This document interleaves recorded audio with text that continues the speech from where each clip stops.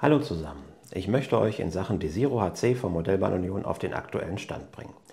Wie ihr wisst, haben wir angekündigt, das Modell Ende September 2024 auszuliefern. Diesen Termin werden wir nicht halten können.